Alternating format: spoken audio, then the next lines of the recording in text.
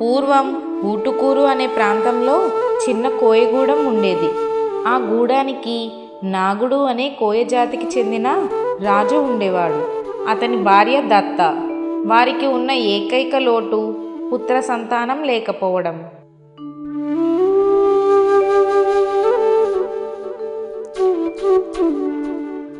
ఏమండి? మనకు వివాహమయ్యి ఎన్నో సంవత్సరాలయ్యింది. కానీ మనకు పిల్లలు లేరు. మనం చెయ్యని నోము వ్రతము లేదు. మన కులదైవం సుబ్రహ్మణ్యేశ్వర స్వామికి మన మీద అనుగ్రహం ఎప్పుడు కలుగుతుందో ఏమిటో? నీకే ఇలా ఉందంటే నేను ఈ గూడానికి రాజుని. నాకు కూడా నలుగురిలోకి వెళ్ళాలంటే చాలా బాధగా అనిపిస్తుంది. నా తర్వాత ఈ గూడానికి వారసుడు లేడని నేను రోజు బాధపడుతున్నాను. సుబ్రహ్మణ్యేశ్వర స్వామిని నేను రోజు తరుస్తూనే ఉన్నాను. ఆయనకు మన మీద దయ కలిగే రోజు రాకపోతుందా అని ఎదురు చూస్తున్నాను ఒకరోజు నాగుడు కలలో సుబ్రహ్మణ్యేశ్వర స్వామి ప్రత్యక్షమవుతారు. నాగుడు నా భక్తులైన మీకు సంతానం లేని కారణంగా ఎన్నో బాధలు అనుభవిస్తున్నారు. నాపై ఉన్న నమ్మకంతో నన్నే కొలుస్తున్నారు. మీకు పుత్ర సంతానం ఆలస్యం అవ్వడానికి కారణం ఒక మహాపురుషుడికి తల్లిదండ్రులయ్యే భాగ్యం మీకు కలగనుంది.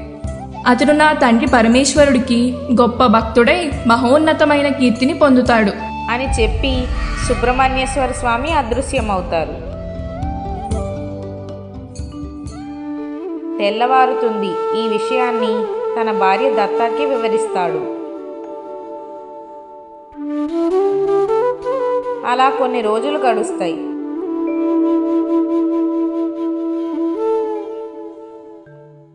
కొన్ని రోజులకు సుబ్రహ్మణ్యేశ్వర స్వామి వరప్రభావం వలన దత్త గర్భవతి అయి నవమాసాలు నిండాక ఒక దివ్య తేజస్సు కలిగిన పుత్రుడికి జన్మనిస్తుంది. నాగుడు దత్త సంతోషంతో మునిగిపోతారు. అతనికి తిన్నడు అని నామకరణం చేస్తారు. అలా రోజులు గడుస్తూ ఉంటాయి. తిన్నడుకి విలువిద్య నేర్పించి అడవిలో జంతువుల్ని ఎలా వేటాడాలో ప్రావీణ్యం సంపాదించేలా చేస్తాడు తండ్రి నాగుడు.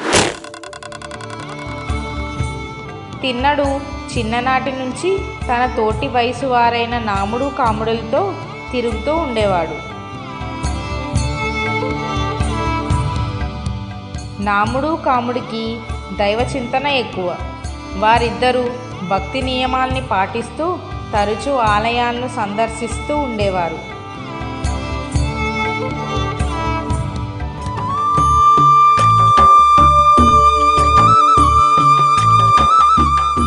అలా రోజులు గడుస్తూ ఉంటాయి.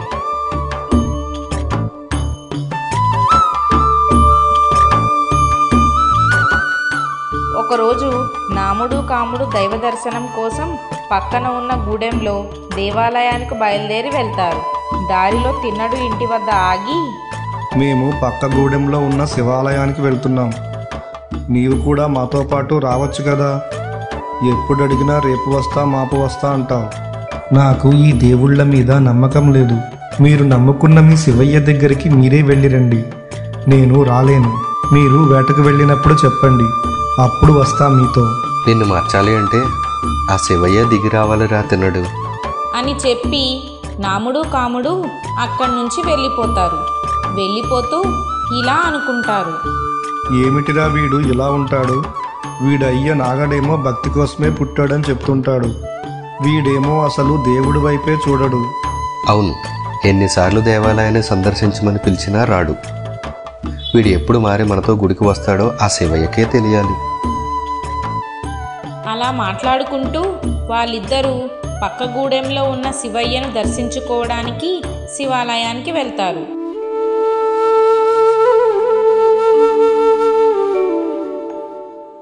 అలా రోజులు గడుస్తూ ఉంటాయి.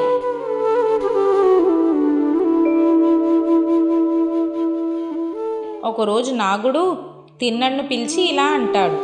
నాయన తిన్నడు నాకు అనారోగ్యంగా ఉండడం వల్ల వేటకు వెళదామంటే నా శరీరం నాకు సహకరించడం లేదు. నా బదులు నీవు నీ మిత్రులను తీసుకుని వేటకు వెళ్ళు నాయనా. సరే అయ్యా నేను నాముడిని కాముడిని తీసుకుని వేటకు వెళ్తాను. మీరు విశ్రాంతి తీసుకోండి. అని చెప్పి తిన్నడు నాముడిని కాముడిని పిలవడానికి వాళ్ళ ఇంటికి వెళ్తాడు.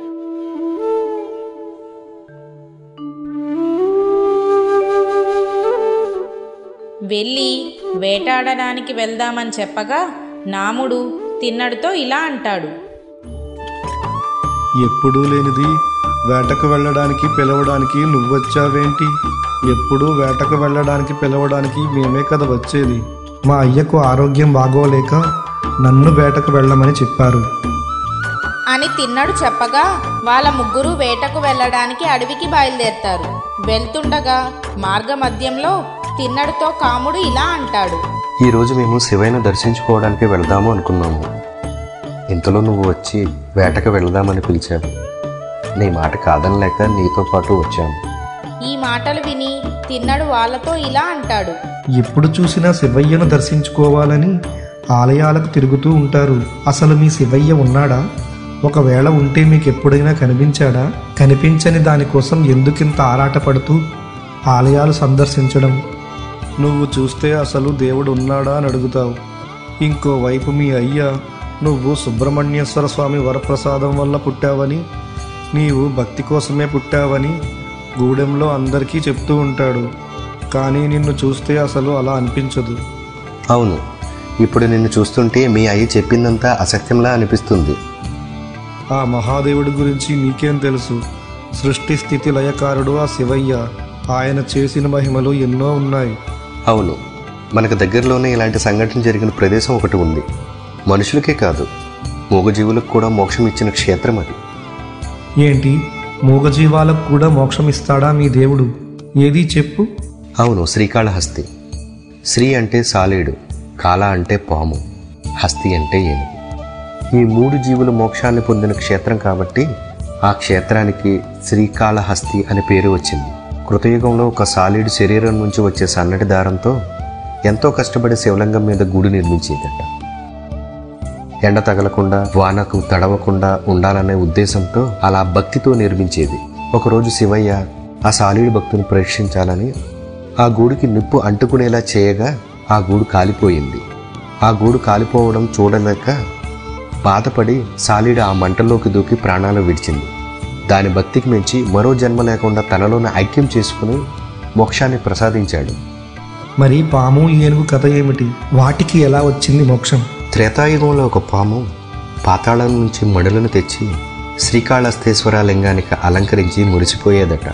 అదే శివలింగానికి ఒక ఏనుగు పక్కనే ఉన్న స్వర్ణముఖి నదిలో స్నానం చేసి తన తొండంతో నీళ్ళు నింపుకుని వచ్చి ఆ నీటితో అభిషేకం చేసి పుష్పాలతో అలంకరించేదట.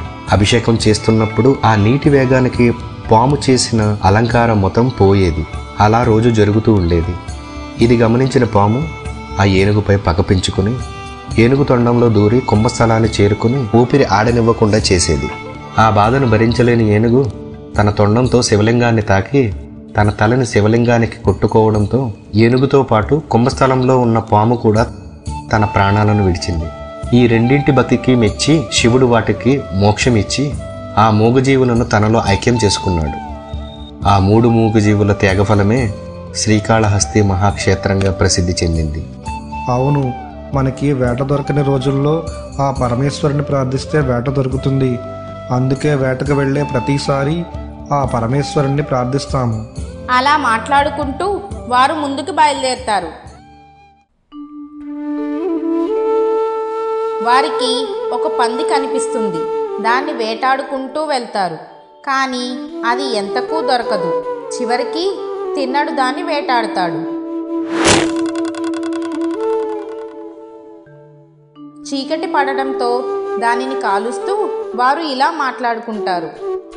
మీరు శివయ్యను ఎలా కొలుస్తారు? శివయ్య అభిషేక ప్రియుడని చెప్తారు కాబట్టి నీటితో అభిషేకం చేసి పుష్పాలతో అలంకరించి తర్వాత నైవేద్యంగా ఏదైనా ఆహారాన్ని పెడతాం. ఇలా మాట్లాడుకుంటూ ఉంటారు. కొంతసేపటికి ఆ మాంసాన్ని తినడానికి సిద్ధపడతారు. అప్పుడు తిన్నడు వారితో ఇలా అంటాడు. ఆ పందిని వేటాడి తీసుకువస్తున్నప్పుడు నా చేతులు మొత్తం రక్తంతో తడిచాయి. ఈ రక్తాన్ని పక్కనే ఉన్న నదిలో శుభ్రం చేసుకొని అప్పుడు వచ్చి తింటాను. సరే త్వరగా వెళ్ళిరా. నీ వాటాన్ని కుంచుతాం పక్కనే ఉన్న నదిలో చేతులు కడుక్కోవడానికి బయలుదేరుతాడు తిన్నాడు.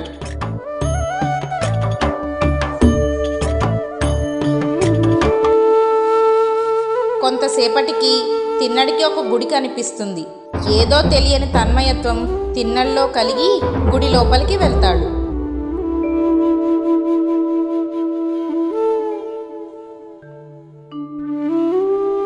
అక్కడ గర్భగుడిలో ఒంటరిగా ఉన్న శివలింగాన్ని చూసి నాముడు కాముడు చెప్పిన శ్రీకాళహస్తిలో జరిగిన ఘటనా సంఘటనలు గుర్తు చేసుకుని మరింత తెలియని తన్మయత్వంలో మునిగిపోతాడు.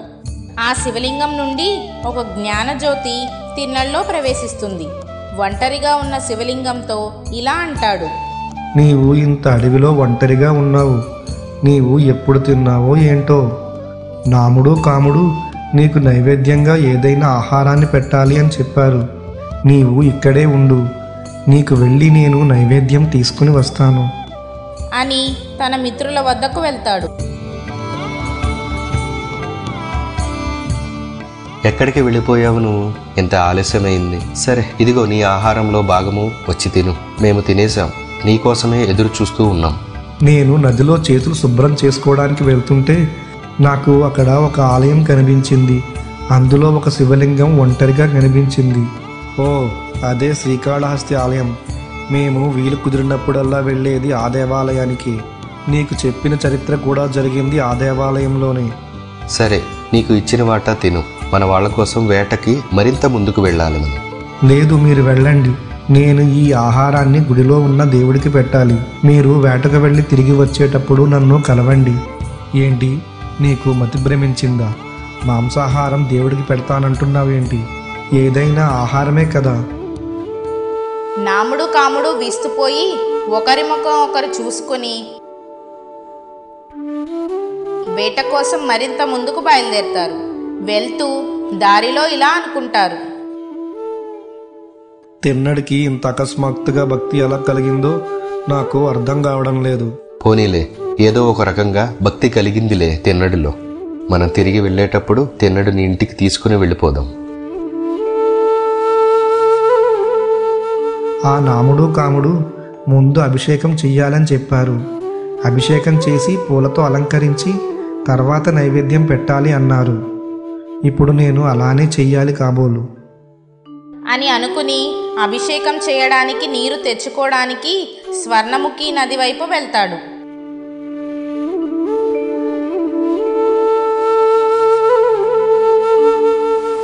నీరు తెచ్చుకోవడానికి ఏ విధమైన వస్తువులు లేకపోవడంతో దోసిళ్ళతో నోటి నిండా నీళ్ళు పట్టి అడవిలో లభించే పూలను సేకరించి వాటిని తీసుకుని శ్రీకాళహస్తి దేవాలయంలోకి ప్రవేశిస్తాడు తిన్నాడు.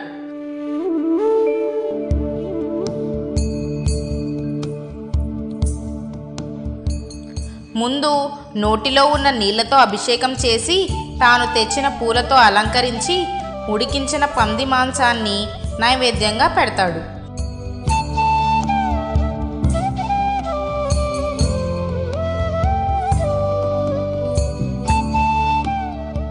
ముందు కూర్చుని శ్రీకాళహస్తీశ్వరుడితో ఇలా అంటాడు.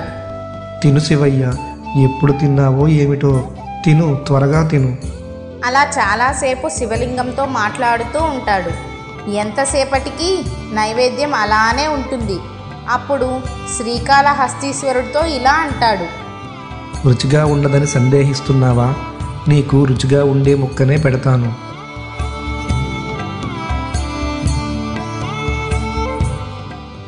చెప్పి ఆ మాంసాన్ని నోటితో రుచి చూసి స్వామి ఈ ముక్క చాలా బాగా ఉడికింది. మీరు తిని చూడండి ఎంత రుచిగా ఉందో.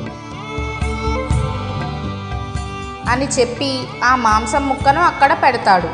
అది కూడా ఎంతసేపటికి శ్రీకాళహస్తీశ్వరుడు తినకపోగా బాధపడుతూ ఏడుస్తూ అడుగుతాడు.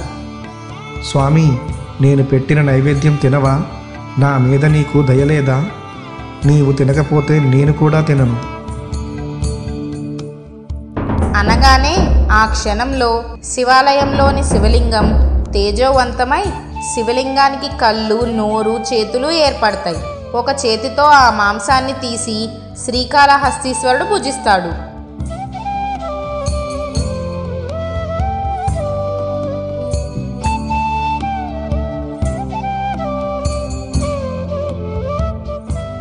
నువ్వు ఏమీ బాధపడకు. నీకు రోజు ప్రతిపూట నేను ఆహారం తీసుకుని వస్తాను. నీవు ఈరోజు బ్రతిమాలించుకున్నట్లు రోజూ బ్రతిమాలించుకోకు. నేను నిన్ను బ్రతిమాలలేను. నేను మరో పూట కోసం వేటకు వెళ్ళాలి. వేట అంత సులభంగా దొరకడం లేదు. అని చెప్పి సంతోషంగా ఆహార అన్వేషణ కోసం అడవిలోకి వెళ్తాడు.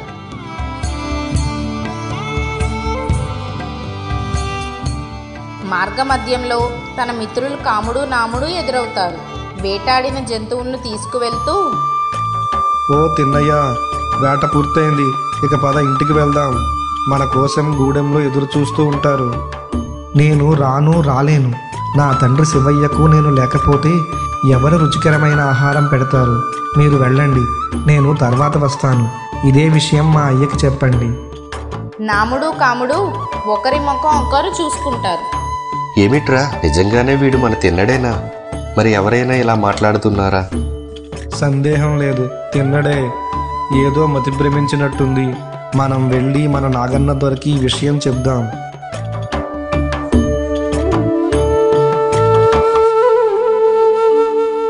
అని చెప్పి వారిద్దరూ అక్కడి నుండి గూడెం వైపు వెళ్ళిపోతారు. రాత్రికి గూడెం చేరుకుని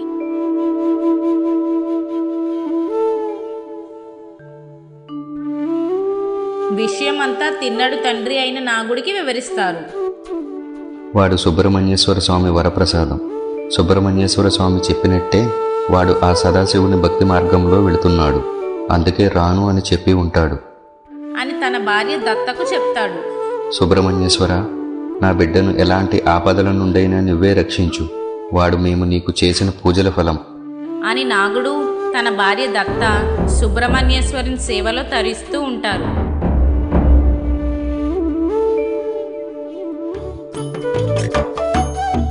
మర్నాడు ఉదయం ఆలయ అర్చకుడు శివగోచారి ఆలయంలోకి వచ్చి చూడగా ఆలయంలో తిని వదిలేసిన మాంసం ఎముకలు అడవి పూలతో చేసిన అలంకరణ చూసి ఇలా అనుకుంటాడు. పరమేశ్వర ఎవరు ఇదంతా చేసింది? నీకు మాంసాన్ని నైవేద్యంగా పెట్టి పెద్ద అపచారం చేశారు. నీకు ఇష్టమైన మారేడు దళాలు దత్తుల పుష్పాలతో కాకుండా అడవి పూలతో పూజ చేశారు.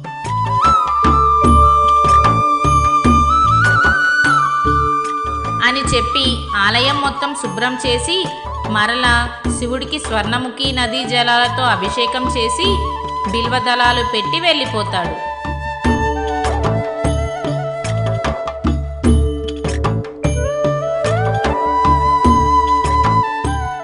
తిన్నడు. ఆ రోజు కూడా నోటితో పట్టిన నీటితో అభిషేకం చేసి అడవి పూలతో అలంకరించి తెచ్చిన మాంసాన్ని శివుడికి నైవేద్యంగా పెడతాడు.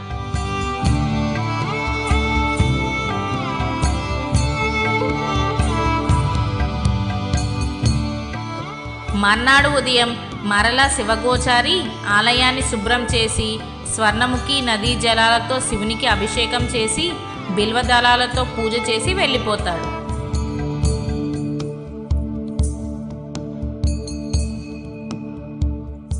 అలా రోజు జరుగుతూ ఉంటుంది. శివగోచారికి నానాటికి ఆ నైవేద్యాన్ని ఎవరు పెడుతున్నారో తెలుసుకొని వారికి శిక్ష వేయించాలని అనుకుంటాడు. శివాలయంలో ఒక చోట దాక్కుని గమనిస్తూ ఉంటాడు.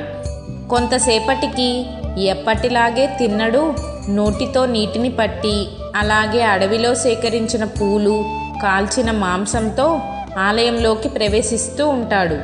అది చూసిన శివగోచారి ఇలా అనుకుంటాడు. రోజు ఈ గుడిలో అపచారం చేస్తుంది ఏ బోయేవాడా? ఇతను చూస్తుంటే మహాబలశాలిలా కనిపిస్తున్నాడు. నేను ఒక్కడినే ఇతన్ని ఏమీ చేయలేను. కాబట్టి ధర్మాధికారికి ఈ విషయం వివరించి భటుల సహాయం తీసుకుని ఇతడికి తగిన శిక్ష విధించేలా చేయాలి. అని అనుకుంటాడు. శివగోచారి తిన్నడికి ఎలాంటి శిక్షలు విధించేలా చేశాడు? ఆ శిక్షల నుండి పరమేశ్వరుడు తిన్నడుని ఎలా రక్షించుకున్నాడు? పరమేశ్వరుడు తిన్నడికి మోక్షాన్ని ఎలా ప్రసాదించాడో మరొక భాగంలో చూద్దాం. మీ ఆరాధ్య టేల్స్.